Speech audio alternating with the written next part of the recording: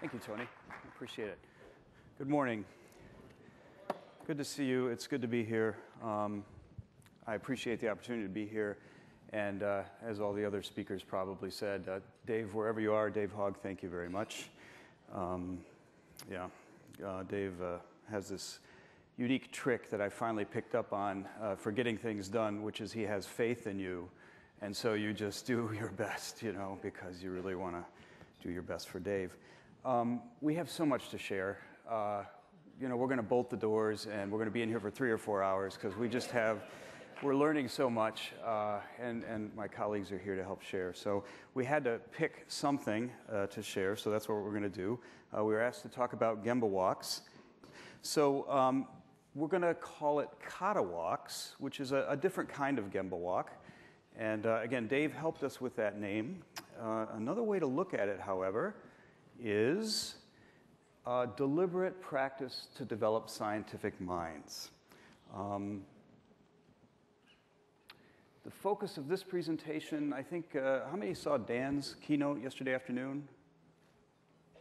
Excellent. Uh, Dan, uh, somewhere in your presentation, you made the comment, you asked the question, you put the question into the audience how are you taking responsibility for developing scientific capabilities? We'd like to pick up right where Dan left off there, and I'd like to just continue on with that conversation. So what you see on the left-hand side of the diagram here is lean concepts that we've been talking about for a long time, the tools and techniques. Uh, there's a lot of talk now about scientific iteration or PDCA. Of course, excellent stuff. I'd like to talk about what's in the red circle, the process of making it real in your organization, a little bit like Tony already said in the introduction. How do we transform our thinking and acting in an organization? Um, again, not just individually, but in an organization, and, and the brain power that was already mentioned. Uh, maybe you should consider this as a report along the way, because we really are continually learning. Um, so don't take this as we have the answer, we know the answer. We'd like to share some things with you about um, how we're going about that. First thing I'd like to do is to kind of quickly look at some common purposes for uh, Gemba walks. Um, if you hear talk about Gemba walks, you read about Gemba walks, you often find these uh, points. One purpose of a Gemba walk is to see, i.e., to go out and to identify problems and waste. Um, another purpose of a Gemba walk is to eliminate waste. In other words, uh, a, a, sentence I often uh, find in relation to Gemba walks is to learn why by asking team members and to help resolve issues. And finally, to learn, in other words, go on a Gemba walk as a leader or a manager to better understand our people and organization. Let's take a little bit closer look at those three points. What I'd like you to do is just help me out here. Read aloud what you see on the board. Okay, can you read this? So it's absolutely remarkable how our brain fills in the blank because if we go back, it doesn't say, Can you read this? right? But somehow, go to the next slide, please. Our amazing brain fills in the blanks. Let's try it again. Please read what you see here.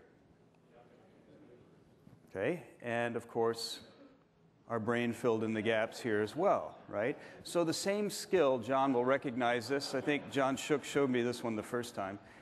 So that wonderful skill that we have, our brain fills in these gaps, which makes getting through life better, right? It makes us successful. Uh, that same skill can also lead us astray, as we see uh, in this slide.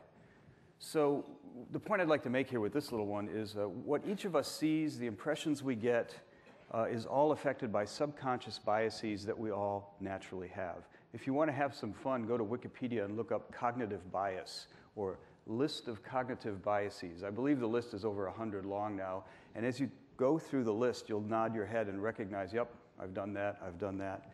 Our brain automatically fills in gaps. And here's the, here's the trick with that we don't even realize it's doing that. It's really quick. So we may not understand what's really happening just by looking around and asking questions.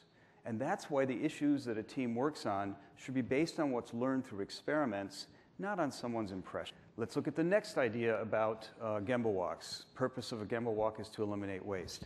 Here's a problem, and this is something that was uh, uh, kind of sobering to me because I spent a lot of my earlier career looking at looking for waste and so forth. If you ask five people what to improve, you're going to get six different answers actually, right? Again, everybody's looking at the world through their particular viewpoint. And I think this is a wonderful illustration done by a colleague of ours in Finland. I like how he wrote, This seems interesting, this seems important. And he says, There's always too much to do, and by random choices, you get nowhere.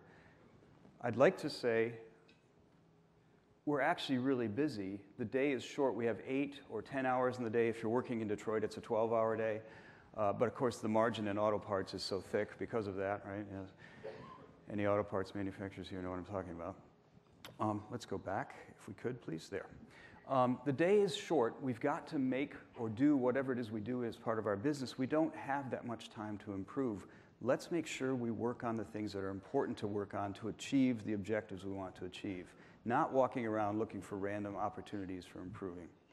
So, in other words, let's do it more this way. And this is another illustration by our colleague from Finland. Um, the goal of eliminate waste is simply too easy. I don't think that is the goal of lean. I think eliminating waste is something that happens on the way to some other goal. You can look back and say, we achieved that goal, and look how much we eliminated waste as a result. So there's a difference between the things that you say you, that you see that you can do and the things that you have to do. And the only way to know what you have to do is to first have an objective or a goal. That then becomes sort of the guideline that says, do we need to work on this to achieve that goal, or can we let this one lie? Furthermore, a lot of the things that you'll need to work on, you can't even see right away. They appear along the way. As you work toward your goal, as you iterate toward your goal, a lot of those things to work on don't appear until later. So you can't see them when you're starting out. So eliminating waste, it's a questionable goal in terms of Gemba walks and lean in general. Third aspect of Gemba walks, uh, to learn. Absolutely. I think anyone, any leader or manager who walks through uh, their, their facilities, who walks through their organization, they're going to learn some things about the state of things. There's no question about that. However, a leader or manager is also a teacher. Anything they say and do, I mean, everything they say and do, actually, teaches a way of thinking and acting. I was speaking with a CEO uh, just a few weeks ago, and he said, No, no, when I go on a Gemba walk, it's not about teaching, it's about me learning. And he didn't really realize that anytime he points at something, anytime he asks about something, suggests things, detects weights, gives compliments, he's actually unwittingly teaching a way of thinking and acting. Um, people pay attention to authority and it influences their mindset. So while the Gemba walker one person is walking through the facility and learning, he or she is meeting many teams and many people, and they're all being influenced by what that person says and does. Teaching may actually be the most significant thing happening on a Gemba walk. So let's sum up the situation so far. A Gemba walker can't know specifically what each team they visit should work on next. You really can't know. Those are things that come out of experiments, not by looking around, right? And anything that that leader or manager says when they visit the team will influence that team's mindset and behavior. It does raise the question what the heck should you do on a Gemba walk? I like this picture, the, the fellow on the left, right? What you see isn't reality, right? It's going to be biased by your perspectives. Number two, what you hear when you ask people, what do you think we should do here? What's your biggest problem? What should we work on? is going to be biased by their cognitive uh, viewpoint. And finally, the third person in the picture, anything you say is going to influence that team. That's the end of our presentation, and uh, we'd like to encourage you to fill out the evaluation forms. Uh, and we do have time for questions, lots of time actually. So. we do have a solution for you, and we do have some actions for you. And again, it's something we're working with and something we'd encourage you to try as well. Um, a Gemba walk or a kata walk, if you will, focus on how people are working. Um, perhaps the most important thing for a leader to focus on during a Gemba walk or kata walk is not the content of what people are working on. How can we judge that just by swooping in and taking a look? We don't really know where their experiments are leading them right now. But what we can look at is the pattern of thinking and acting that they're utilizing as they pursue uh, goals and challenge and try to meet challenges. So, question is, what pattern of thinking and acting should you teach? If we can't focus on what they're working on, what the heck should we teach them? So, number one, this pattern that we teach, this way of thinking and acting that we'd like to teach the teams, it should be system wide and used in daily work. It's something that's used throughout the organization. And uh, you know, routines of practice suggest that anything you practice should be practiced a little bit every day. Better to practice 15 minutes a day than one hour a week, which means it has to be in the line functions. How many people are here in the lean staff? Quick show of hands. Okay, don't worry, moving this into the line staff, the managers need coaches, and I think that's a perfect role for the lean staff. So, uh, number two, this pattern that we teach should be suitable for any goal or problem. This was particularly interesting in the uh, Toyota Kata research in that we don't know what's coming in the future. So if we teach a particular uh, way of thinking and acting, a particular mindset, we have to be sure that it fits what we're going to be doing in the future, even though we don't know what's coming in the future, right? So if we teach Kanban, which we need to know how to use, but if that's what we teach, or if we teach um, cellular manufacturing or solutions like that, we're creating hammers looking for nails. Those may or may not be the solutions that are appropriate for the problems that we can't even see yet that we're going to be facing tomorrow. So the pattern of thinking and acting that you teach has to be content neutral. It has to be what I like to call a meta habit. We've got one for you. Number three, it should be based on a scientific model. Um, the pattern that you teach, uh, you don't want people operating on impressions because, as we just talked about, our impressions are faulty. So, you'd like the pattern of thinking and acting you're teaching to be based on a scientific approach. And finally, uh, we think, and we've added the fourth one, I think the top three are, are well known uh, for many years. We've added the fourth one, and I think that's coming out of the neuroscience that we're seeing more and more in, in everyday life, and that is it should include structured practice routines for beginners. This is completely normal in music and sports. In those endeavors, you would never say, you're going to be a pro right away. You begin by playing scales. You begin by practicing a particular routine for throwing or kicking a ball or something like that. And as you progress, you develop proficiency, you can develop your own style. But you start with that basic pattern as a beginner of practice. It's a little bit remarkable to us that that's so common in sports and music and so unusual in business. All right, we have a pattern just like that. We call it the improvement kata and coaching kata. This is a picture of the improvement kata. We're not going to go into this in detail here unless we do want to uh, bolt the doors and uh, spend the four hours. Um, it's described in the Toyota Kata book. It's also described on the Toyota Kata website where we put things we're learning. Um, it's just a basic four step or four phase pattern. You have to understand the direction. What's the overarching goal, challenge, strategic purpose that we're trying to serve here? Number two, grasp the current condition. This is the one everyone likes to skip over. Uh, you have to kind of spend a lot of time digging into figuring out what is currently happening, which sets you up then to establish an appropriate next target condition on the way to that overarching challenge. And then finally, the most fun part, uh, which is step four, iterate toward the target condition, uh, which is PDCA, right? Learn, experiment toward the target condition. By the way, we started using the word iterate we noticed that business people in the lean community, PDCA or PDSA, I see Karen Martin is here. Um, I'm slowly converting. Um, somewhere Deming is smiling. Um, we call it PDCA or PDSA, but if you go into business and say that, people don't know what you're talking about. So I think in the lean community, by the way, we may need to adjust our lingo a little bit if we want to get lean integrated into the line functions of the organization. So uh, iteration means the same thing. We're going to use a video to show you some kata walks, and, in, and uh, they'll illustrate structured practice of the improvement kata and coaching kata. Let me go back one here. It's going to illustrate that bottom point. Structured practice routines. Now, the people in the video aren't such beginners anymore, but they're actually still using a structured practice routine. And the practice routine you're going to see is focused on step four of the improvement kata. We're not going to go through the front end planning portion. We're going to look at the execution portion, which is the iterating or PDCA uh, toward a target condition. What I'd like to do is bring the experts up. Um, would you guys just come on up? Um, this is uh, George Greene. George is the operations manager for, at Merck for the product Primaxin. He's been there for six years and two years as a kata practitioner. Morning, George. Yeah. Um, Beth Carrington my colleague, Beth Carrington, is a TK practitioner for five years. Uh, we're all learning from Beth, let me put it that way. She's a University of Michigan lead instructor, also an LAI instructor. Um, she's a master coach, basically. Morning, Beth. Morning. Uh, Rhonda Carpenter, also from Merck, is their, was their continuous improvement site development person and now is transferring into operations, to use her words, so that she can practice what she preaches, i.e., let's get this into the line functions and have managers do this as part of their daily work. Uh, Kata in the line. Good morning, Rhonda. Good morning, And finally, um, my friend and colleague Bill. Uh, Bill is a Kata experimenter and teacher. I guess that's what we do. And uh, he's also a University of Michigan lead instructor and a Lean Enterprise Institute instructor. And uh, we bounce things off each other. Yeah, morning. All right.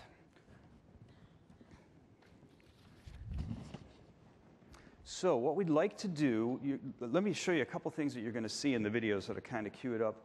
There are a number of forms we use, maybe a half dozen or so, to help with these structured routines. They're simple pencil and paper forms, all available for free on the website. Uh, and, and, but we'd like to show you a couple that you're going to see in the video. The top one, marked in red, is the PDCA cycles record, and that's used by the learner. And essentially, um, let me see how I put this. The learner uses the, the form um, to plan and then to review each step, i.e., each experiment. So the left side of the form is the plan for the next experiment. You'll see people preparing that. And then the right side of the form is the evaluation, assessment, or reflection, or the, uh, Karen, study, I believe, correct? Yes, okay. Um, the study of what happened with that experiment, which leads to the next experiment. Each row in the form is one experiment. Beneath that, you'll see the obstacles parking lot. I mean, that's simplicity itself. We started using that about 18 months ago uh, because people have a tendency to want to work on a lot of things. So this form does two things. When people name obstacles that they think are going to be obstacles to the target condition, we have them put them on the form, but we only allow them to work on one obstacle at a time. So that slows people down and says, which one do you want to focus on? Let's experiment against that obstacle. The other thing that it does, which is actually more interesting, when you reach your target condition, you can review the obstacles parking lot and see how many obstacles that you thought were going to be obstacles you didn't end up working on at all, and how many obstacles got added to the form that you couldn't anticipate before. And what it does is it teaches people their threshold of knowledge, that they actually can't, don't know the way to the goal as they set out. Um, you're going to see another form, and that's the five question card, which is used by the coach, or in this case, the kata walker. It is a structured scientific set of questions that's used to teach a particular mindset. Might be better if they had one of these, wouldn't it? Now, I wish we'd have thought of that. So, you'll find on your table an envelope that looks like this. Why don't you open the envelope, and there are five question cards inside, and please distribute one to each person at your table.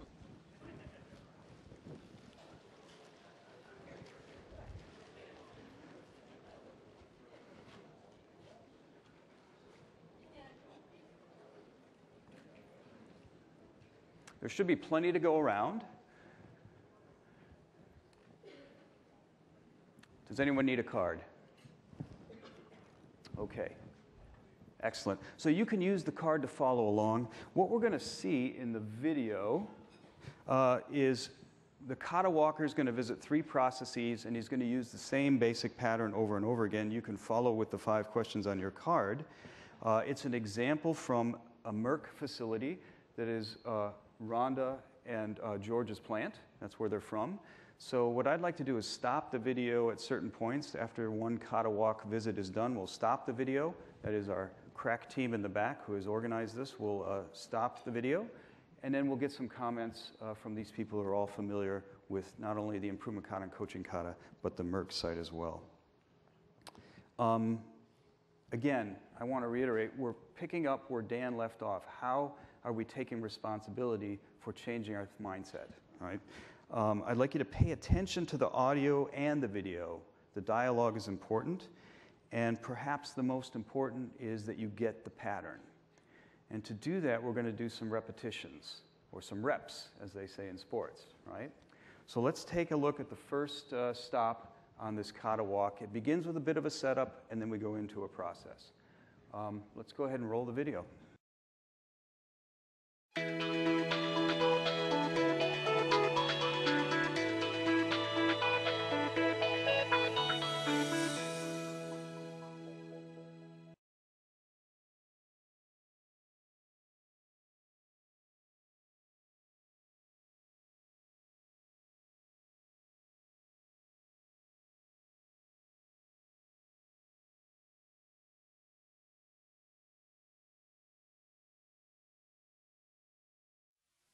Hi, and welcome to Merck Manufacturing, where we make life saving medicines and vaccines for the world. Today we're going to explore the value stream for Primaxin, a broad spectrum antibiotic used to treat aggressive bacterial infections. Let's take a look. As we explore this value stream, we'll be using the five coaching kata questions. So, Dwayne, as we were saying, how can I help you? Well, Raul, thanks for asking. Um, it is time for me to walk this value stream again. Um, but before I do, I'd really like to know your thoughts on where you're taking this value stream. That's a good question. As you know, as a company, we have the strategic goal of increasing production, um, maintaining the cost right. without increasing headcount. Now, for the Primaxin uh, stream, we actually are looking forward to increase from 500 to 600 uh, trays per shift without increasing the headcount. Okay. Now, you know, Primaxin as a value stream have four different loops. You have the pacemaker loop. That includes filling as well as packaging. Then upstream from there, you have the bulk manufacturing. Okay. Before that, you have the um, supplies inspection. And at the very beginning, you have the receiving process. Okay. What areas would you like to see of this value stream? So I think for this visit and this walk, I'd really like to focus on working way back in the product testing um, and take a look at a part of the filling process and looking at the vial loading operation, and then further upstream, looking at the supplied inspection loop. That sound reasonable? Absolutely. Now, before I let you go, do you know what you're looking at? Explain. So, let me see. Could you hold this for me for a minute? Sure. It's my iPhone, tape. oh my gosh. Here's my badge, lip gloss. I know I have it somewhere. What you got in Car there? keys, bungee. Bungee cord. The? the? five questions. Oh this is Primaxin. Ah. Here you go. Okay. Now, the one thing I want you to do after you're done with your walk, please come back and let me know how it went. Deal. Excellent. Thanks. Take care.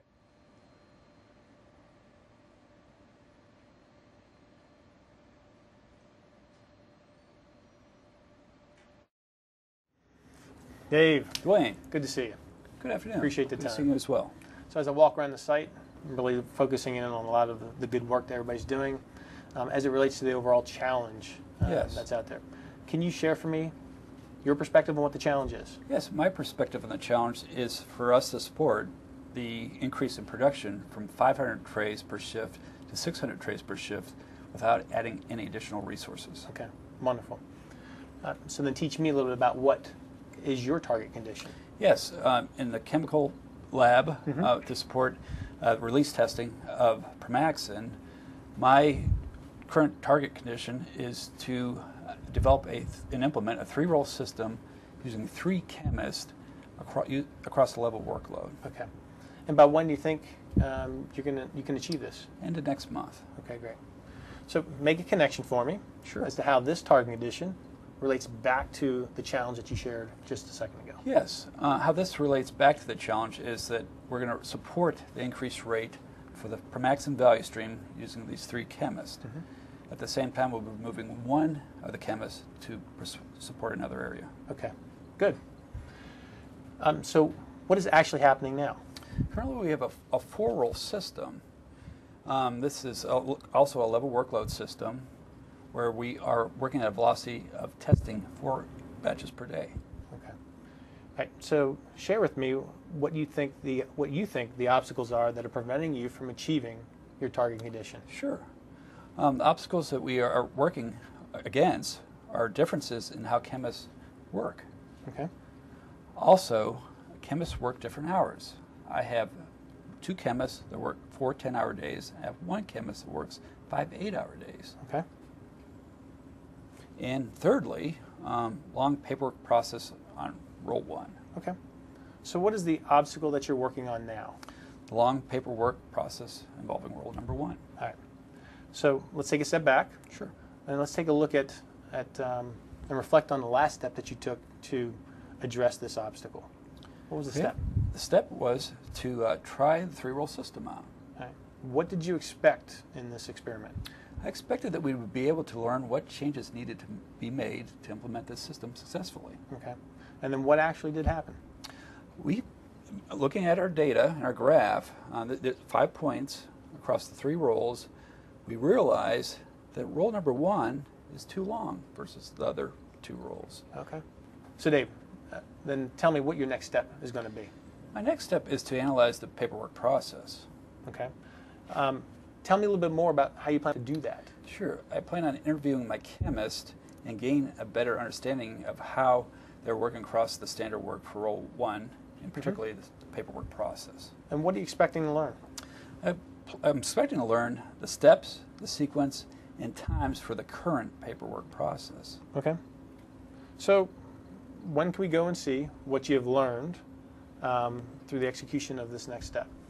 Tomorrow at the same time. Okay, great. Dave, I appreciate your time. You and your team are using a great systematic approach. I really appreciate it. Keep going. Thank you, Dwayne.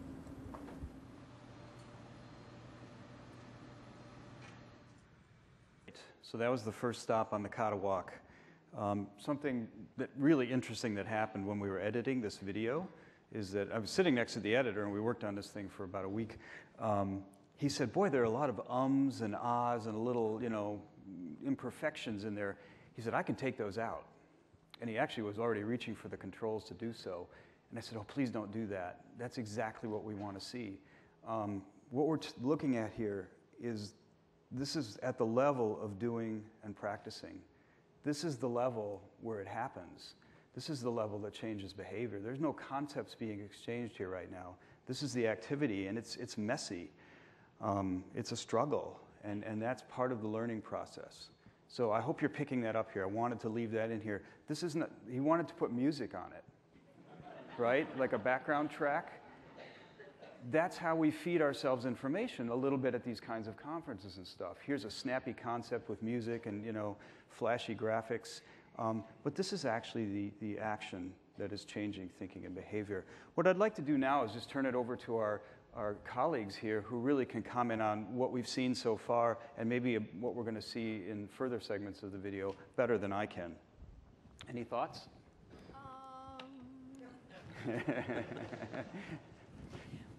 The thought that I had, or wanted to, to particularly point out, you saw Dwayne, the cattle kata walker, engage with the plant manager and ask him what was the business objective that he needed to achieve in that value stream. And when you see this video and you start putting all the pieces together, it becomes easier to see that the alignment of the challenges each of those areas are trying to achieve, they're actually lined up to a strategic purpose in order to help the area meet their business goals. I would say, as a practitioner, what I like so much about it is that it's easy. It's a simple format, it's easy to use, it's easy to understand, and it's also easy to teach. You guys agree? Mm-hmm. It's a routine, a pattern that can be repeated over and over again.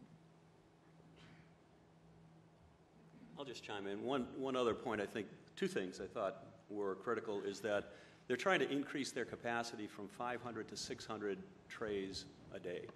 Um, that's a 20% increase in terms of performance. So the, the other thing about this challenge and about you actually using this process is that it enables people to strive and reach for levels of performance they never thought they'd be able to achieve, quite honestly. If you had asked them, could we be there? Uh, most of the people in that organization would say, you know, you're, you're dreaming. There's, there's just no way to do it. So that's what's also powerful about it. And um, you'll see as, as we continue to look forward, the alignment that uh, Rhonda was talking about, look for that in the future segments that are coming up. Um, the only other piece I wanted to comment on was the simplicity of that board, right? There was a, a storyboard back there with some documents on it, and um, looked very simple. It, in fact, is very simple. But the key to it is that it's a powerful use of very simple tools. Is that you have uh, this PDCA cycle record, this obstacle list. The other thing you notice there is that Dave had a very simple graph in terms of presenting information. So the beauty of it is that the format is simple enough that um, Dwayne, the kata walker, can see that format wherever he goes. It's a common format to use, and uh, people, it's easy for the, the practitioners to use. It's something that can really be deployed widely in the organization. Does not take a whole lot of training, and uh, you can get a tremendous engagement from the organization. So as we, I And just Beth, wanted if you lean forward just a little, I think you'll Um, project I better. just want to say, so as we begin to, uh, the next uh, kata walk that you'll see, watch for the pattern. You'll see the same pattern repeated, the five questions, and you'll begin to see people like Dwayne, the- one of the practitioners, or Rhonda, or George, they begin to embed this pattern of the five questions beyond even the kata walk. So every time you begin a conversation around change, it becomes a conversation around what are we striving for, right? Putting that up front, first and center, and then analyzing where we are as it, as it relates to that challenge or that what we're striving for. So this way of thinking and acting begins to embed beyond just the kata walks or the, the coaching kata. That's right, that's right. We uh, actually get emails from people who say, uh, we've started practicing this at home with tough challenges that our family uh, faces. There are some notable individuals I'm thinking of. Uh, somebody in the audience knows who I'm talking about. Um, yeah, any other comments you'd like to add? Watch, watch. Yes, of course. I was going to share that one thing I learned is that I thought I was already coaching with my employees, but when I started practicing Toyota Kata, it gave me a better insight into the thought process that my employee was taking to solve the next challenge, and it really added more meaning, more depth to my interactions. That's a good point. Yeah, we, we think we're doing a good job. It's difficult to assess yourself. And then when you look back, you go, gosh, I was such a novice before. And I think as we were talking last night, we were preparing for the talk. Um, you know, a lot of us thought we were coaching, but it really was just sort of a, a, an informal interaction. Just getting together to talk is not really coaching. Um, this is a coaching. In German, the word coaching is actually training. That's what the word means. It's actually maybe a little bit better definition of the word. It's not coaching, it's training. There are different kinds of coaching. John points that out uh, uh, frequently, and I think you're absolutely right. The type of coaching we're talking about here is really kind of a skill building coaching or training. Good point. All right. Well, why don't we watch the next uh, stop on the Kata Walk?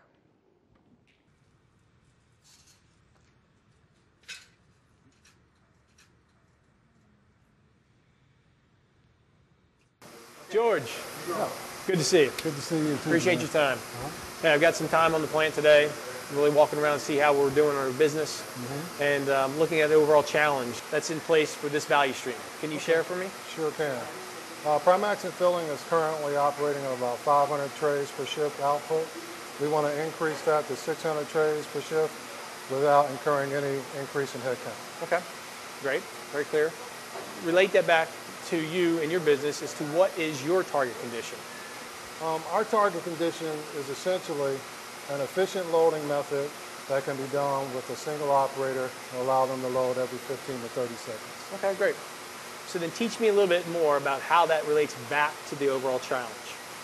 What that does is that will allow me to use one of the operators that we currently use in a different core task. Okay.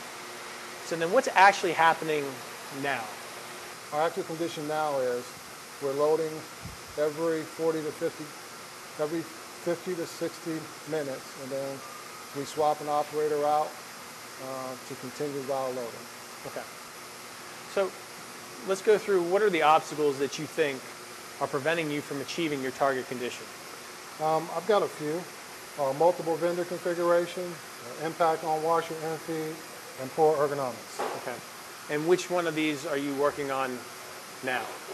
Multiple vendor configuration. Okay. All right.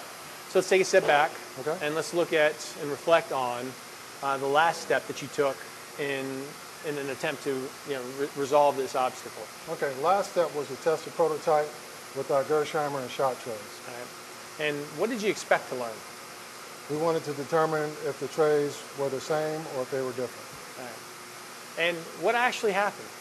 We found out that Schott and Gerresheimer trays are actually different. Wow. Okay. And what's the value in that learning? Um, we have to modify the prototype to work with all tray configurations. Okay. So with that, then, what is your next step?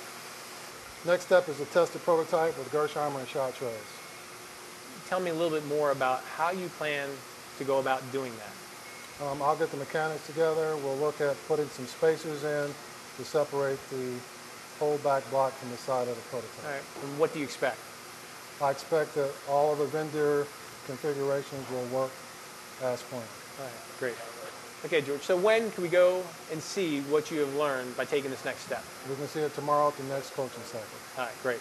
George, I appreciate your time. You're welcome. It's very apparent that you and your team are following a very scientific uh, and systematic approach uh, and method here. Thank you. Keep going. Okay, great. That's, uh, we have one more stop after this. Um, by the way, Raul, the plant manager whom you saw in the beginning, and um, Dwayne, our kata walker, were intended to be here, but they got called away on other duties. So uh, um, w- we have uh, almost full panel. Um, just real quick that, um, George, you're a scientist in this field. No, I mean, I'm not making this up, and I wasn't planning on saying this, but I've seen this video 10 times. But it hit, you're a scientist. You're working scientifically. You're, you're, you're planning your step, you're, you're making your prediction. Uh, and, and Dwayne in the movie, he's practicing too. He's practicing how to teach that particular method. And uh, of course, he has to know the method, right, before he can teach it. Why don't you guys uh, tell us what you think about this particular segment we just saw? Okay, I think um, uh, one of the things, the largest thing, particularly at the production floor level, and, and something that's not actually shown in the video, is the interaction between uh, our operating staff, uh, our supervisors, and managers during the coaching cycle. We've elected to take um, the kata coaching cycle uh, down to the floor where the problem is, where we're actually uh, what we're actually trying to fix, and we've invited the operators to participate uh, in that, that coaching cycle. That's been very valuable. It's been very uh, inclusive, and people see the things that are happening, uh, what questions are being asked, what obstacles are, are being formed, and they become a part of that team. And when they become a part of the team, they then own the change, which is exactly uh, uh, the thing that has been the biggest benefit for us making uh, larger leaps on the production floor. The other thing, through experimentation, um, you understand the system better. Even though you're the learner, you've executed the experiments. Nobody knows more about it um, than you uh, at that time. Also, when you involve uh, the operators in the execution of those uh, experiments, uh, their level of knowledge uh, increases. And when we do that, we have a personal growth. We, we have a personal growth through the attainment of each one of those uh, target conditions, and it's through that growth that has allowed us to attain levels of operation that before we, we only dreamed of achieving. I think that's been very, very important for us. I did want to link back to um, something that Rhonda said earlier concerning um, the coaching. Um, because it is a, a systematic way, and because the coaching um, is sort of out front, so um, everybody can see it. Uh, everybody benefits from that, not just the learner, but but all of the participants um, benefit from that. So I, I think um, it helps to keep the coach um, f- uh, focused through the asking of the five questions, and then the runoff from that is when I'm walking the floor and I'm talking to people about other issues that we may not particularly um, have under kata at the time, the comments that they're making now and the way that they're looking at the problems are directly uh, stem from them watching the coaching cycles, understanding what things we're looking for, and they're starting to get that sequence in their own mind right there on the production floor, and that's exactly what we want. Yeah, once you get the pattern, it's really hard to not use it anymore. Um, you mentioned the operators, by the way. One of, one of the lessons we learned was, and, and it's kind of embarrassing looking back, we used to go to operators, let's say in the 20th century, uh, we put them in self-directed teams. I advocated that myself, and uh, we'd ask them, what do you want to improve? You're a self-directed team. Um, we now know that you just, that's not a way to tap the brain power in your organization.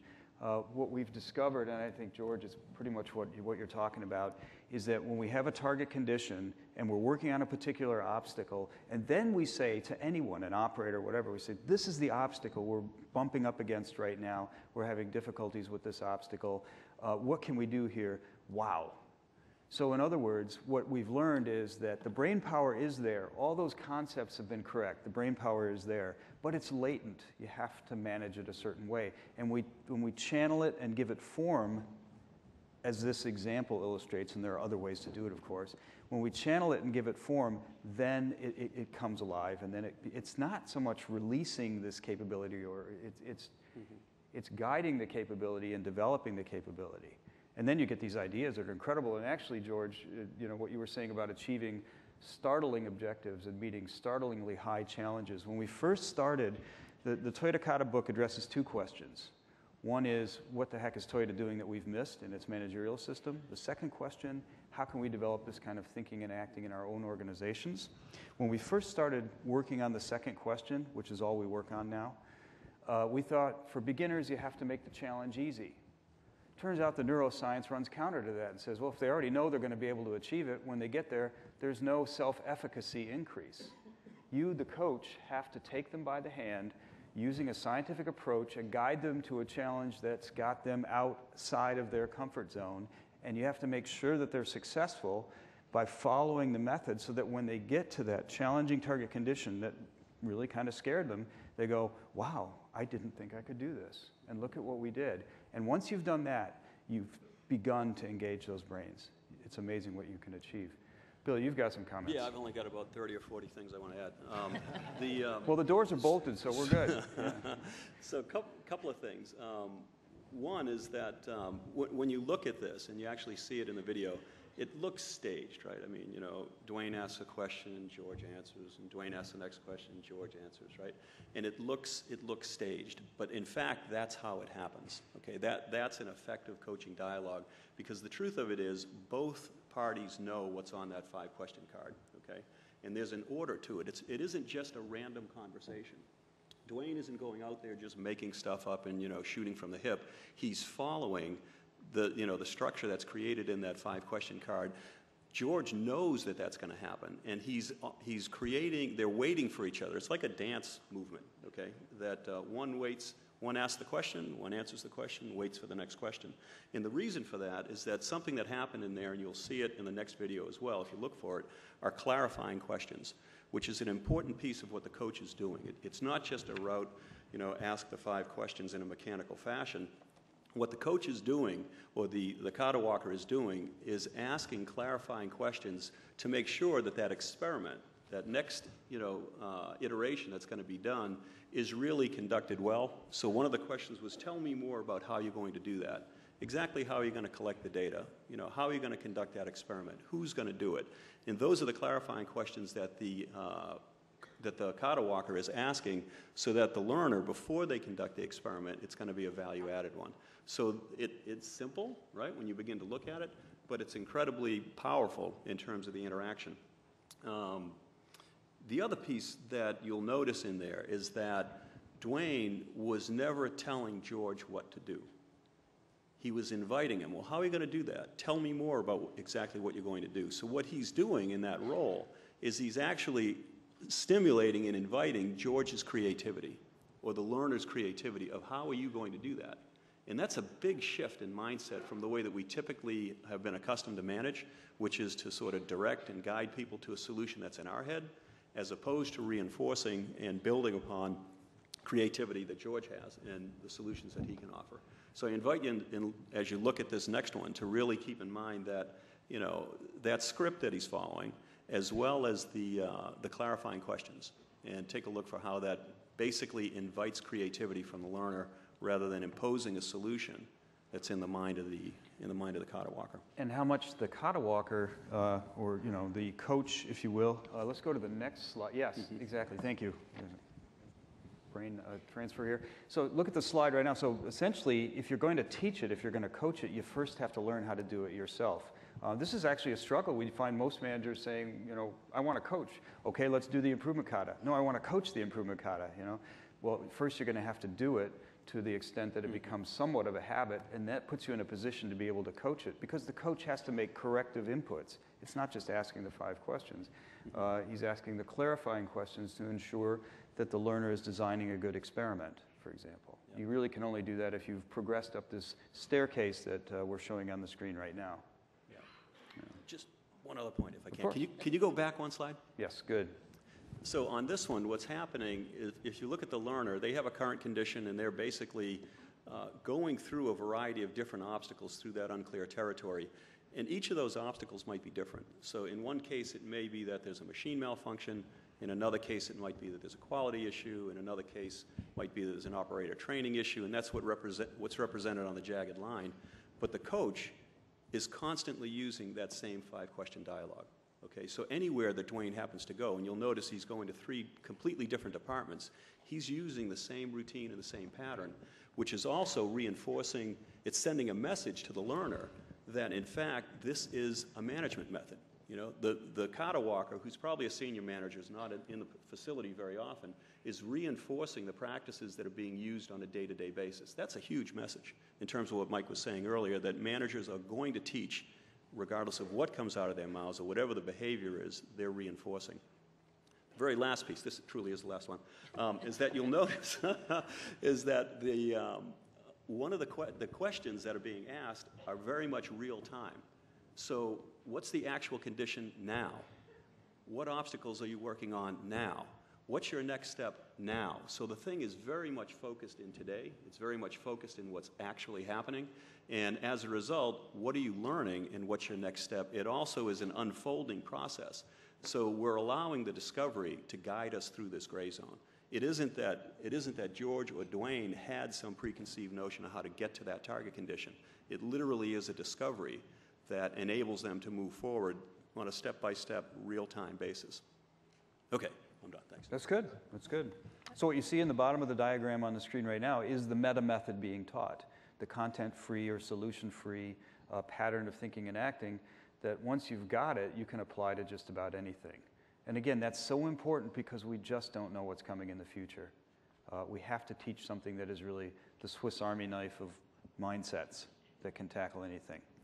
All right, um, unless there's something else. Yes, of course. I'm sorry, George. Uh, One other comment. Uh, In a lot of organizations, we, we struggle with how to manage change, and kata has been very important to us for that, that reason.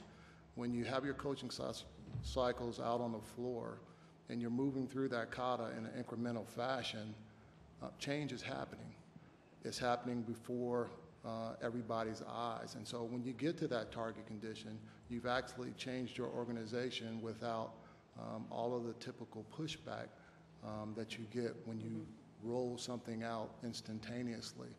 And we can have three or four kata sessions happening simultaneously, and we're moving through our, our processes with with very little uh, pushback whatsoever. That pushback actually turns into uh, perhaps obstacles that go onto our storyboards. Um, if, if it's a true obstacle, we work it out. If not, we're able to show how that's not an obstacle and we're able to get beyond that. But it's a good way uh, to change the organization in an incremental fashion.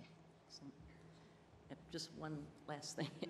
So I think linking together what Bill was talking about in terms of senior leadership having a pattern that is similar to the day-to-day pattern that people like George are practicing in their processes and pulling this, this idea of change into the operations is literally about developing a deliberate culture of innovation and change and experimentation.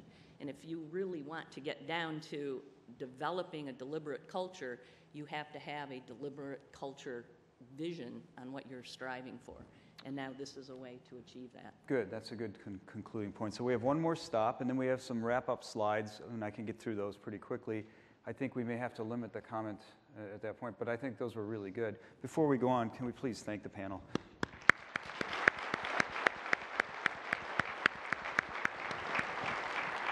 All right, let's take a look at the last stop. It's repetitive. It's supposed to be repetitive, okay? Get the pattern if you can. Use your five question card. Let's take a look.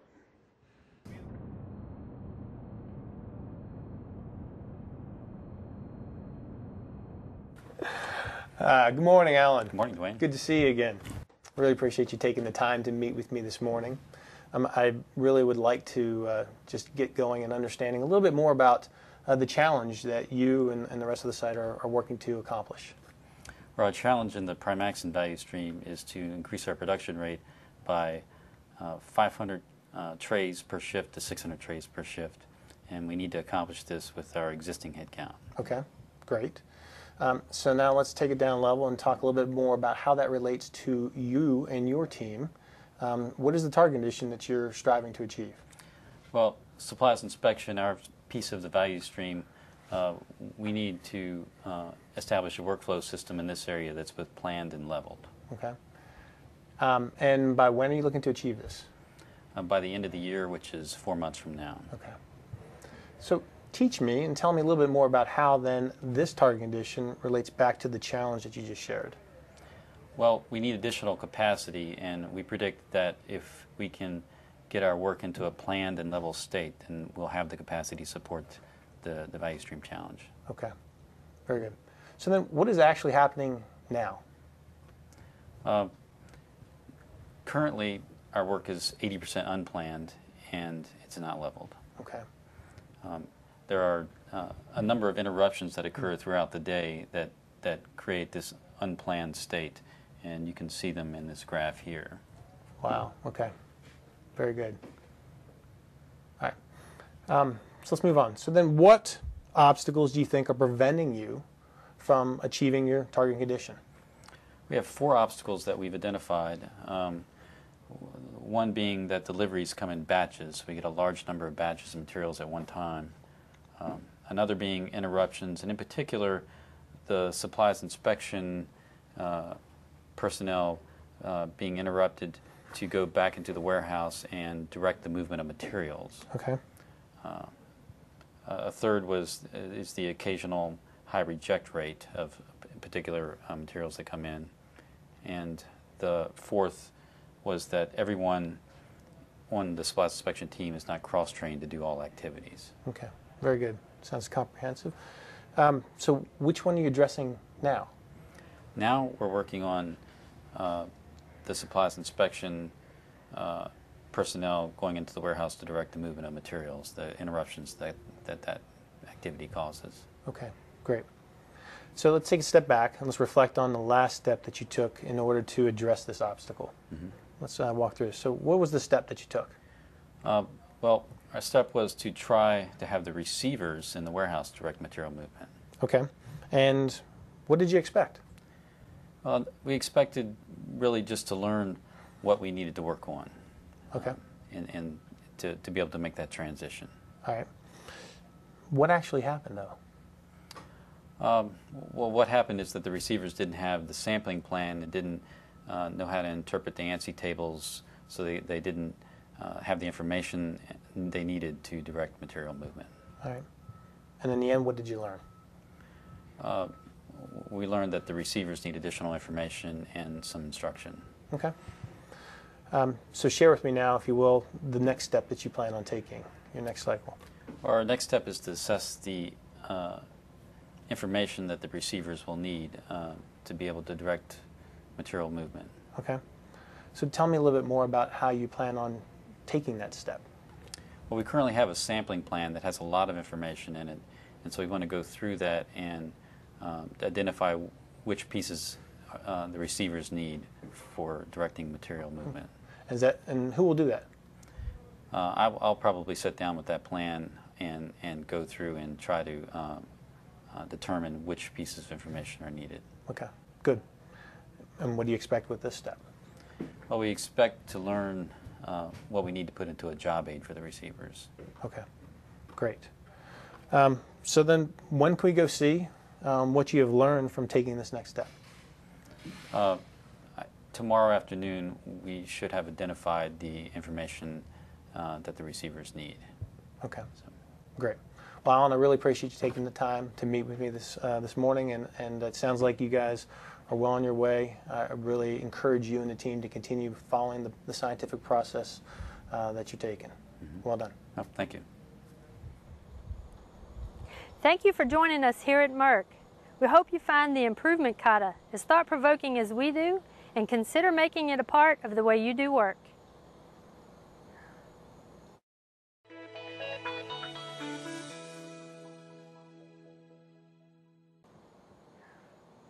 That's good. Okay, I just have a couple more minutes. I realize we're a little bit over, and I, I apologize for that. That's my fault. Um, so, the walker is interested in the process people are working on. Did you notice that? Right? And he can, as Bill said, he's using that same pattern everywhere he goes. Look, we didn't jazz this up. I'm just going to repeat that. Um, I, it's funny, I was standing here watching this last one and I was thinking maybe I should apologize that it's not exciting enough. And then I stopped myself and said, why should I apologize? This is the real work to do what Dan is asking how we're going to do. Now, yours may look different and there may be other ways to do it. Let's go through a conclusion. So, focusing on how people work, the improvement kata and coaching kata are a repeatable management model, as was already mentioned by the panel. I think we're changing uh, or we're better defining the role of managers in a lean system. Uh, repeatable management model pr- to produce continuous improvement, adaptation, and innovation, George, just like you talked about. The learner is iterating his way forward, his or her way forward, instead of deciding the way forward. Yes, you can make a plan, but the people in the video realize that any plan is just a prediction. And that's actually that PDCA cycles record that defines their next steps. There's no Pareto chart defining next steps. There's no plan that says this is your next step. They have a plan, they know where they're going, but the steps are defined from the experiments. And that's the action of innovation. I put this next slide in here um, uh, just briefly because we, we are taught that innovation is a eureka moment by these famous inventors, and that's not how innovation happens. And I think we're all starting to learn that. Innovation is many small steps across the organization. If you want to be able to reduce your lead time by 50%, that's going to require experiments in almost all aspects of your business the shipping, the receiving, the, the packaging, not just the production. That's how these inventors did it. It's kind of stupid that our textbooks just show the inventor standing next to their invention when that's not at all how that invention came to be. Let's go back. Here we go. Finally, you're equipping people with a pattern and mindset that's not solution oriented but discovery oriented. By teaching the improvement kata and coaching kata patterns, you build an organization that can successfully deal with challenges, and in particular, interesting to me, an organization that's better able, that has more self efficacy for dealing with uncertainty.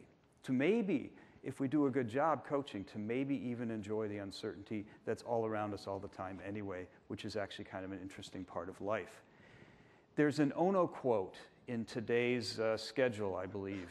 I recently found this Ohno quote. I'm just going to read it, okay? It's so good. Uh, it was just published in a Japanese newspaper in, uh, I think, July, August.